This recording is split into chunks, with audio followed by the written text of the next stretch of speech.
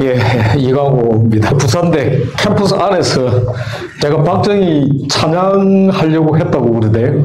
찬양을 좀 할까요?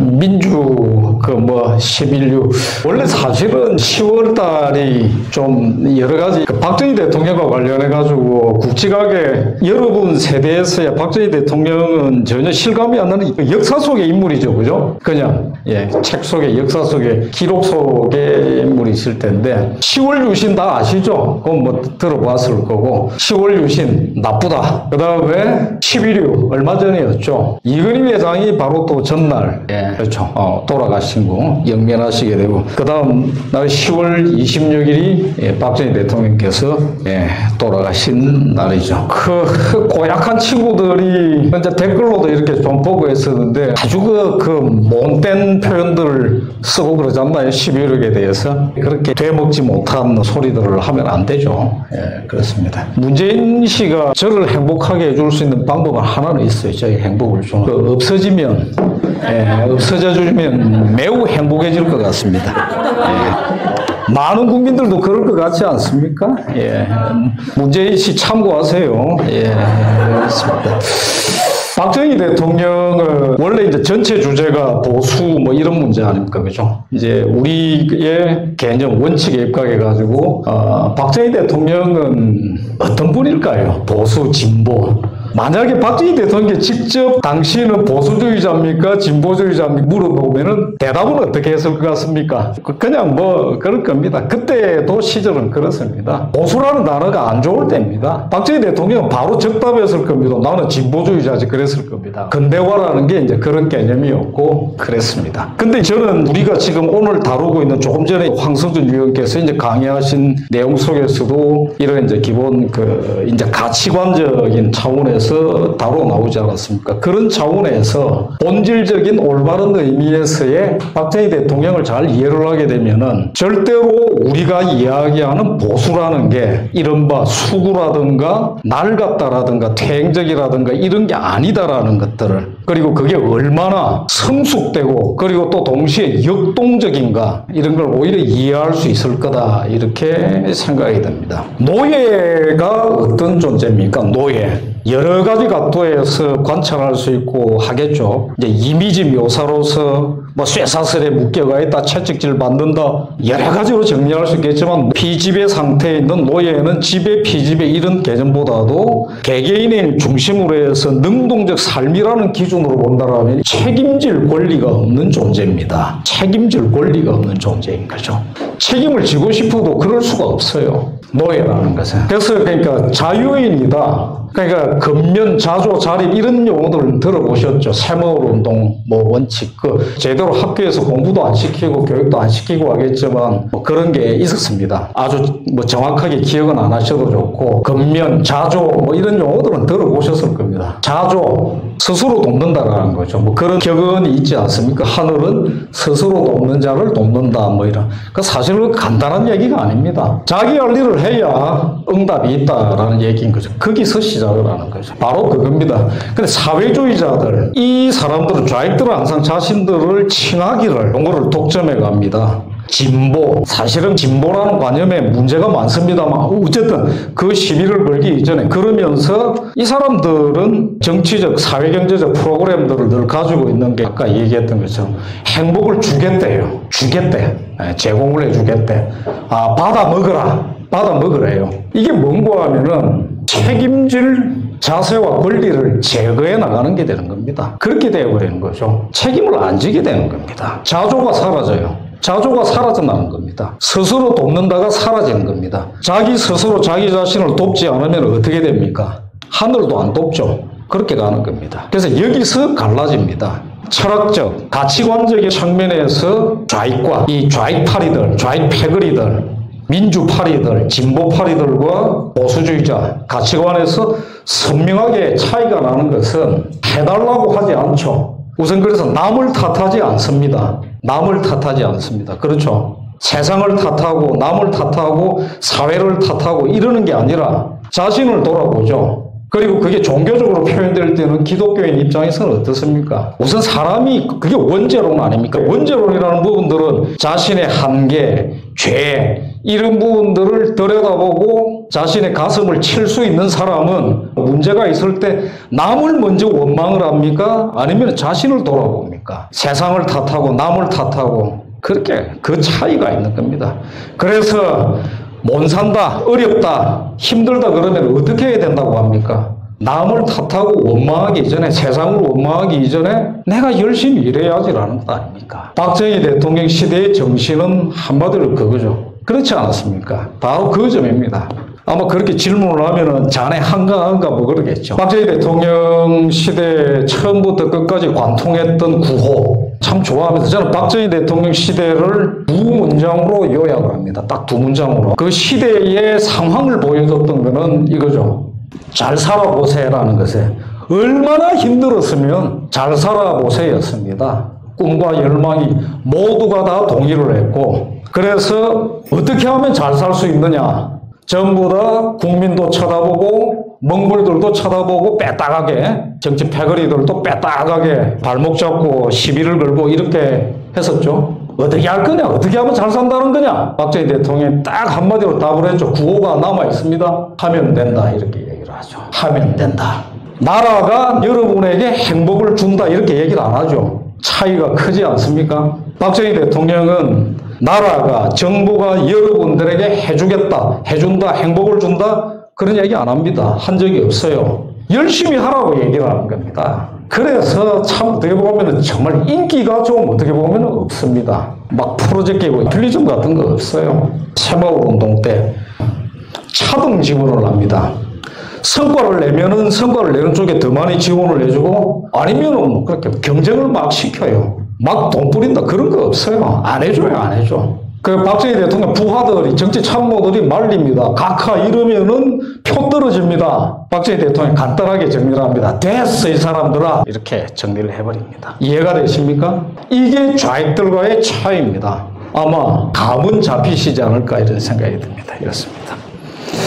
11.6 기념관에서 행사를 한다면서 감히 감히 뭐 그랬던가 보죠. 아, 박정희를 찬양을 하다니 민주파리 그들이 기억을 하고 있는 또 부마 과장되어 있는 또 잘못 기억되고 있는 이런 부분들에 대해서는 다시 한번 생각을 해봐야 됩니다. 박정희 대통령은 그 흔히들 독재자라고 그러죠. 박정희 대통령 그래 뭐 독재자라고 합시다. 근데 박정희 대통령을 그렇게 독재자라 이렇게 규정을 짓는다라면은 진짜 보여줄 거 제대로 보여준 독재자들 쪽팔리게 만드는 겁니다. 히틀러는 유대인만 600만을 죽였다고 그러죠. 스탈린이 죽인 사람이 얼마입니까? 숫자 여러 가지로 다르고 합니다만 3천만에서 5천만을 이야기를 합니다. 모택동이가 죽여버린 인간이 얼마나 됩니까? 정책 실패를 뺀다 하더라도 최소 3천만을 죽였다고 얘기를 합니다. 정책 실패까지 여러 가지 다 포함되면 1억이 넘는 인구가 모택동 때문에 죽습니다. 캄보디아에서 크메르루즈에 의해 가지고 크메르에 대단한 유적이 하나가 있죠. 앙코르와트 다 들어보셨죠? 앙코르와트 유적 어마어마합니다. 정말 어떻게 저런 엄청난 어떤 그 고대 문명에 그런 게 있을까 경이로울 겁니다. 가서 보신다면 사진으로만 봐도 그렇지 않습니까? 근데 지금 캄보디아가 어떻게 살고 있습니까? 여러 가지 사연이 겹쳐가 있지만 그야말로 제대로 된 인재들, 사람들, 세대들을 싸그리 전멸시켜버립니다. 정확하게는 이렇게 되지 않습니다. 약 800만 인구 중에 최소 200만을 죽였다라는 겁니다. 폴포트가. 교육시켜서 개조를 하겠다, 사회주의적 인간 개조를 하겠다. 잘 안 되니까 없애버려 없애버려 해가지고. 근데 김용옥이라는 사람은 킬링필드가 없었다. 뭐 이렇게까지 이야기를 하고 그럽니다. 이 사람은 그렇게 열심히 저쪽에 주파수 코드를 맞추고 하는데 아직도 볕을 제대로 변변한 거 받지도 못하고 뭐가 잘못 보이는지 뭐 모르겠습니다만 박정희 대통령 시절 18년 동안 총 18년의 집권 기간이라고 그러죠. 그래서 독재자라면서요 극악한 독재자라면서요 암흑시대였다라면서요 그래서 몇 명 죽었는데요, 정치적으로. 혹시 그런 거 들어보셨습니까? 몇 명 죽었을 것 같습니까? 정치적인 이유로, 정치적으로 단죄돼서 죽은 사람 몇 명일 것 같습니까? 네, 그렇습니다. 열 손을 안 넘어갑니다. 열 명이 안 됩니다. 18년 동안. 숫자를 이야기하기 전에 신영복 알죠? 신영복. 어, 문재인 씨가 존경한다는 사람. 그 사람 안 죽었잖아요. 박정희 대통령은 극악한 독재자라면서요. 암흑시대라면서요. 그런 사람 안, 안 없애버리고 놔뒀네요. 그죠? 감옥 살이 하다가 나왔네요. 그죠? 이런 겁니다. 그 다음에 민주주의. 이제 대한민국이 한국이라는 나라가 민주주의로 잘 나가다가 아주 흉치가 뭐가 등장을 해가지고 잘, 잘 누리고 있던 걸 다 뺏어가고 어떻게 된, 그렇습니까? 냉정하게 우리 역사를 한번 살펴봅시다. 한반도에서 살아왔던 한국 사람들이 도대체 언제부터 자유민주주의를 용어라도 들어, 들어보고 자유가 뭔지 용어라도 들어보고 민주주의 어쩌고 하면서 흉내라도 내보기 시작한 게 언제부터입니까? 1948년 이후 아닙니까? 그렇죠. 1948년 대한민국 건국 이후 아닙니까? 그전에는 자유민주주의 이런 거 없었던 거 아닙니까? 당연하지 않습니까? 없지요. 일제시대에 그런 거 있었다 그러면 안 되잖아요. 그렇죠. 1948년 대한민국 건국 이후에 비로소 그런 용어라도 들어보고 해보기 시작했습니다. 그 시작을 할 때 처음부터 아주 멋들어지게 시작했어야 됩니까? 아, 그런데 한국은 출발을 할 때 한 번도 해보지도 못한 걸 하지만 사실은 삐까번쩍하게 시작을 해버렸어요. 완전 평등 선거를 했잖아요. 남녀가. 서구 세계에서도 그러지 않았습니다. 근데 어, 대한민국은 시작할 때부터 남녀 평등 선거를 해버렸어요. 놀랍지 않습니까? 서구 역사, 서구의 민주주의 역사, 재산 정도에 따른 차등 선거를 했었습니다. 상당히 오랫동안 그렇게 진행이 됐습니다. 우리는 시작할 때부터 보통 평등 직접 비밀 선거를 내버렸잖아요. 문자 해독률도 형편없었습니다. 글도 다 알지도 못했어요. 그런데도 그렇게 했었어요. 한국 사람들 똑똑하다고 그러잖아요. 유전적으로. 그렇다 하더라도 그때는 문자 해독률이 얼마 되지도 않았을 그럴 때였습니다. 근데 시작하자마자 6.25 터졌습니다. 항미 원조 전쟁 했죠, 그죠? 예, 항미 원조 전쟁. 옆길로 나간 얘기겠지만 16개국은 뭐죠? 그러면은 16개국은 문재인 씨한테 아마 물어보고 싶겠죠, 그죠? 그 누굽니까? 통일부 뭐그 맡고 있는 그 인간은 뭐, 뭐 답을 하니 못하니 뭐 그랬다나요? 뭐 어쨌다나요, 그죠? 웃기는 겁니다. 이승만 대통령 그랬습니다. 민주주의를 믿어야 될 겁니다라고 그렇게 시작을 했습니다. 근데 불과 몇 년 만에 바로 전쟁이 일어나가지고 엉망이 됩니다. 저는 우리 현대사를 문학적으로 표현을 해본 적도 있었는데 피의 골짜기를 지나고 땀과 눈물의 강을 건너서 번영의 바다에 이르렀다. 시작하자마자 그렇게 된 겁니다. 피의 골짜기를 지나왔습니다. 정말로 땀과 눈물의 강을 건넜어야 됐습니다. 저 정글을 누비면서 피땀을 흘려가면서 눈물 짜가면서 먹고 살기 위해서 해야 했습니다. 그래야여 겨우 번영의 바다. 어디 보면은 바다로 상징되는 해양 문명으로 상징되는 자유시장 경제 체제 그 속에 자리를 잡고 대한민국의 오늘이 있게 됐습니다. 박정희가 옳았다. 제가 처음에 이렇게 쭉 설명을 내렸습니다. 이 책입니다. 제 책을 한번 보시면 여러 가지 이야기들이 박정희 대통령 찬양을 하지는 못했습니다. 사실은 박정희 대통령 개인에 대한 얘기는 없습니다. 그런 내용이 아니라 박정희 대통령을 계기로 해가지고 사실 우리 현대사를 살펴온 뭐 이런 겁니다. 문제가 됐던 민주주의 과연 어떠한가 이런 것들을 따져보고 살펴보는 이런 내용입니다. 대한민국 건국 자체가 자유민주 혁명이다. 이것을 꼭 기억을 해 두셨으면 합니다. 그 전에는 한반도 뭐 신화적으로는 5천년 역사 이렇게 이야기를 하죠. 삼국시대부터 시작을 해가지고 잡으면 거의 한 2천년 역사쯤 된다고 하겠죠. 신화적 이런 걸 뺀다 하더라도 적어도 그 정도는 육박을 할 겁니다. 전혀 자유민주 이런 거 모르고 살았습니다. 대한민국 건국이 자유민주 혁명입니다. 자유민주 체제는 강림을 한 거나 다름없습니다. 존재하지 않았던 게 들어왔던 겁니다. 전사들은 이제 그 넘어가서 박정희 대통령이 등장을 합니다. 그때 5.16을 다 환영을 합니다. 대부분. 그야말로 대부분입니다. 모두 다는 아니겠죠. 정권을 내놓아야 되는 당시 장면 정권, 집권 세력들은 그렇지 않았겠 일반 시민들이 이제 그랬습니다. 왜 그랬을까? 과연 유신시대가 그러했는가? 암흑시대였느냐? 그리고 박정희 대통령의 서거가 몰상식하고 철딱선이 없는 부류들이 그렇게 흉측한 은사를 쓰된 만큼 그래 돼야 되느냐? 옳은 거냐? 그래서 잘 됐느냐? 아니다. 라는 말씀을 드립니다. 공산당 선언입니다. 다 아시죠? 연도가 1945년입니다. 45년이 어떤 해죠?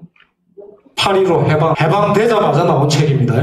무엇을 할 것인가? 마르크스 레닌주의 진정에서의 동권 세력들이 입에 달고 다니던 민주, 민족, 인민이 민중이죠. 이때 다 이렇게 나왔던 겁니다. 이렇게 진행되는 겁니다. 이제 이런 어떤 그 부분들이 아마 감이 잡히실 겁니다. 상시적 비상체제일 수밖에 없었다라는 거. 완전히 결론을 내리지 못한다 하더라도 느낌은 좀 오지 않습니까? 시작 때부터 이랬어요. 정말 치열했습니다. 좌익은 처음부터 자유민주 대한민국의 탄생을 찬성할 리가 없죠. 방해하고 87년 민주화, 유신, 80년에 서울의 봄, 그리고 87년 다시 민주화 쟁취했다.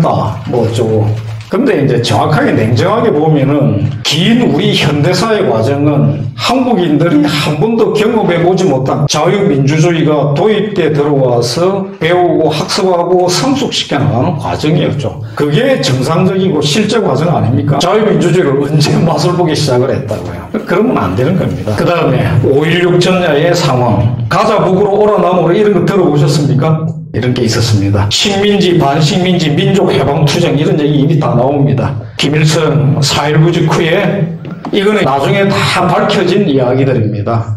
결국에는 다 밝혀져요. 관심 있으신 분은 여기 들어가 보면 나옵니다. 우드로 윌슨 센터라고 검색을 해보시면은 이게 그 홈페이지가 있습니다. 여기 자료들이 다 있습니다. 아직도 위력적으로 계속 진행되고 하는 연방제 통일 방안이 등장을 한게 4.19 직후입니다. 이때. 이걸로 꼬셔라 이렇게 이야기를 합니다.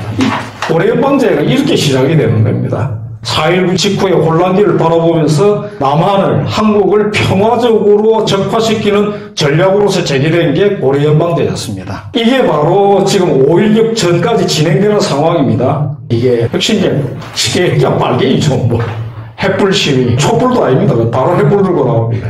방공법 제정에 대해서 제가 질문을 던져가 이거 맞출 사람이 없어요. 맞출 수가 없어요. 방공법 제정을 최초로 제기한 게 누구였을까요? 이승만 대통령이었을까요? 뭐 박정희 대통령이었나요? 아닙니다. 방공법 제정을 들고 나온 거는 장면입니다. 민주당 정권 장면 정권입니다. 왜 그랬을까요?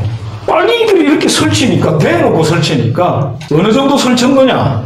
김일성 만세 이걸 봅니다. 윤보선 대통령이 집차 타고 와가지고 살펴보고 그 밤에 들어가가지고 긴급 회의 소집하고 그럽니다. 아무 결론도 못 내립니다. 사태가 심각하다라는 결론만 내줍니다. 아무것도 못해요.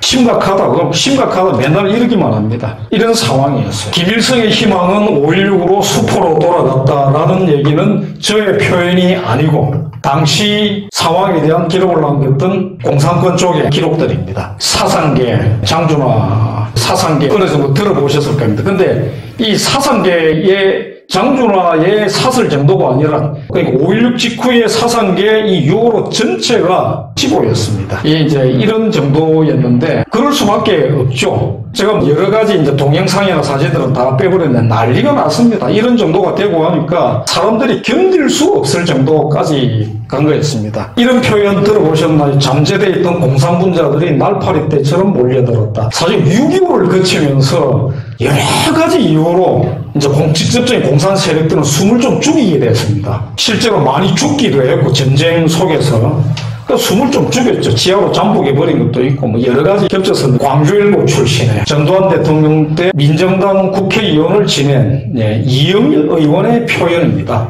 이영일 의원의 이분이 4.19 세대죠. 이승만 대통령에게 달게 들었던 이 세대고 민작통이라고 있었습니다. 좌익 조직입니다. 주도해 나가고 하던 막 이런 세력이었는데 때가 되는 그 기회가 오니 온 천지에서 다 튀어나오더라는 겁니다. 6.25 거치면서 다 일단 제압이 되고 정리가 된 줄 알았는데 이런 정도였다. 완전히 난장판으로 가고 있었다라는 겁니다. 그래서 윤보선 대통령이 5.16이 터졌을 때 그랬다는 것 아닙니까? 올 것이 왔다라고 얘기를 했더니 사람들이 다 그렇게 느꼈다는 겁니다. 5.16의 첫 번째 공약이 반공이었습니다. 왜 반공이었을까라는 건 당시 상황들을 보면 사람들이 정말 진료했을 정도였다라는 이런 상황이었다라는 것들을 알고 계셔야 된다라는 거. 그래서 저는 이제 이 5.16에 대해서 이제 뭐 쿠데타라고 다 기록되어 있죠.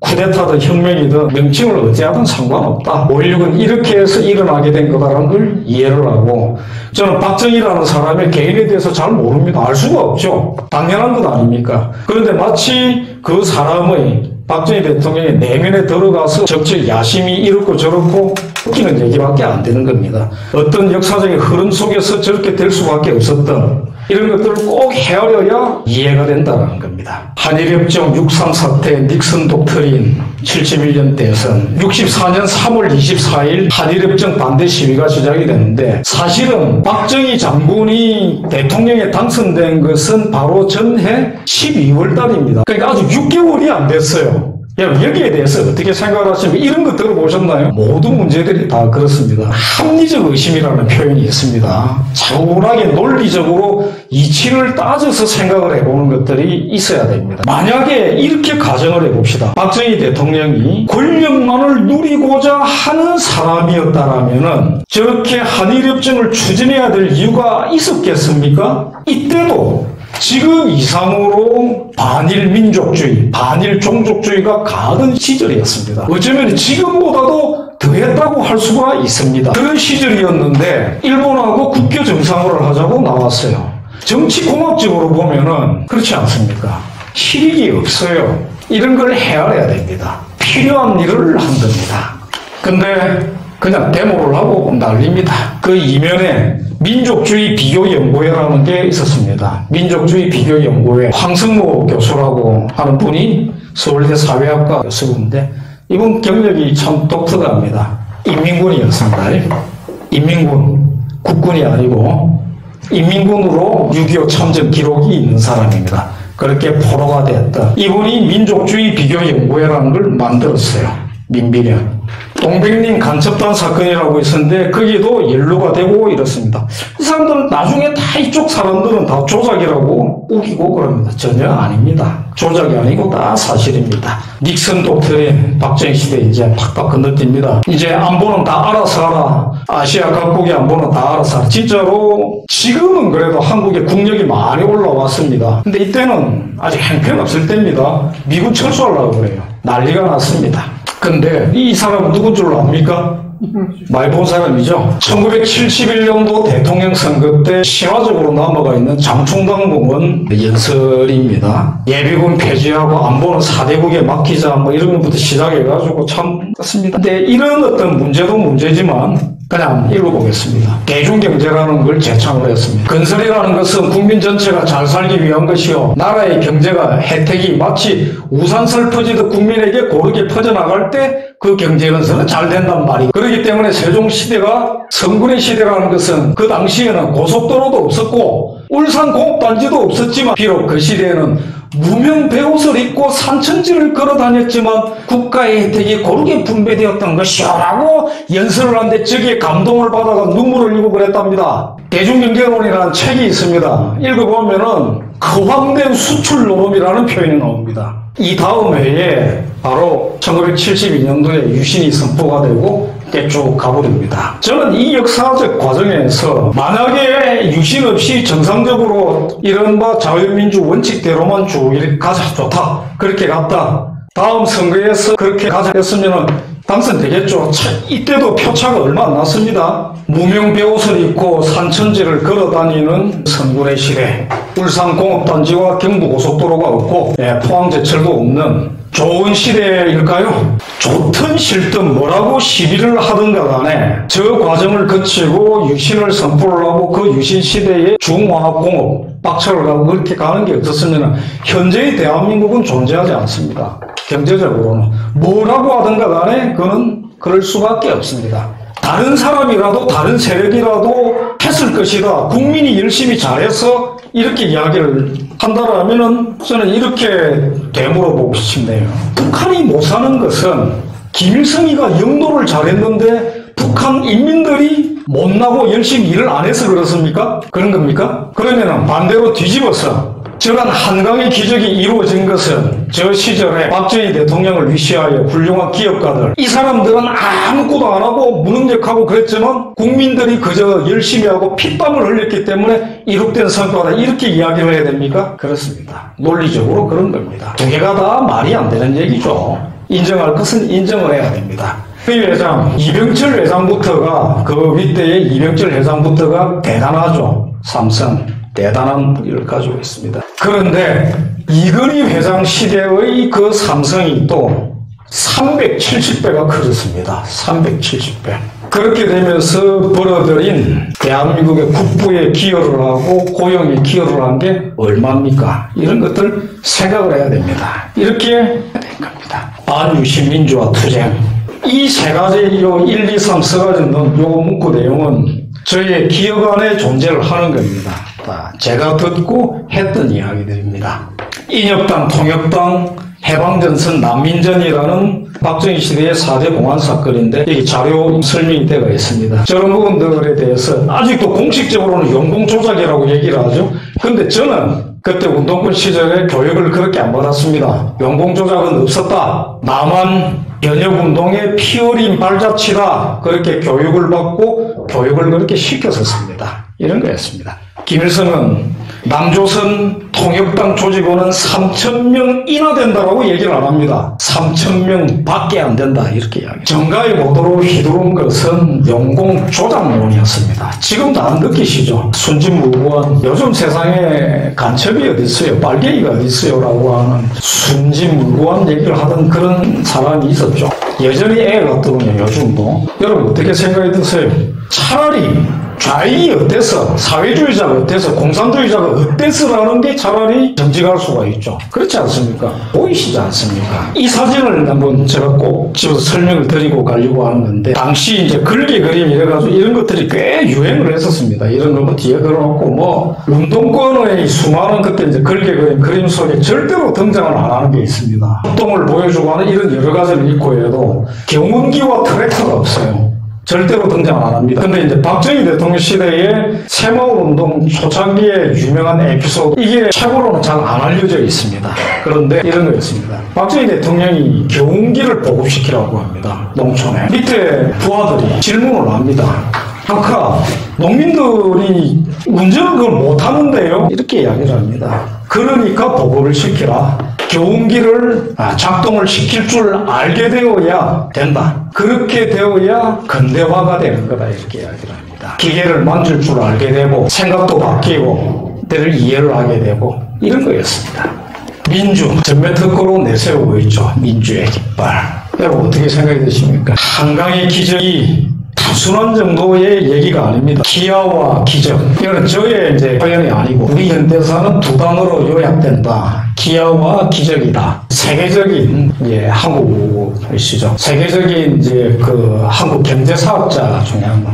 워낙 이분도 시비가 걸려 고생도 하시고 해서 이름은 제가 거론하지 않겠습니다. 책 제목이 있습니다. 찾아보시면 아마 나올 겁니다. 기아와 기적의 기원이라는 어떤 책이 있습니다. 아주 대단한 어떤 책인데 해방 후 한반도에는 기아와 기적 그 각각을 대표하게 되는 두 개의 정치체가 태어났다. 기아를 대표하는 것은 북한이고 기적을 대표하는 것은 대한민국이다. 이런 겁니다. 한강의 기적은 진짜 기적입니다. 그렇게 될 수 있다라는 발전이 이루어질 수 있다라는 것은 아무도 안 믿었어요. 전 세계 어느 누구도 믿지 않았고 한국에 잘 나간다, 똑똑하다 이런 사람들 아무도 안 믿었습니다.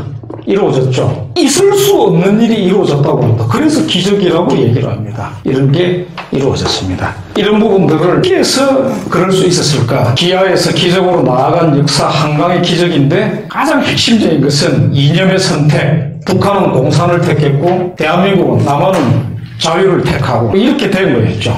근데 아직도 민주주의, 민주주의 그러면서 민주의 정당인 어쩌고 저쩌고 뭐 이야기를 하면서 그렇습니다. 민주주의 저도 중요하다라고 얘기는 하겠습니다. 근데 민주만 얘기를 하면 되는 거 아닙니다. 민주 달고 있는 이런 거 많습니다. 보십시오. 조선 민주주의 인민공화국부터가 그렇잖아요. 민주주의 한대요. 저거 공화국이래요. 프레타리아 민주주의, 소비에트 민주주의, 인민민주주의 다 민주주의죠.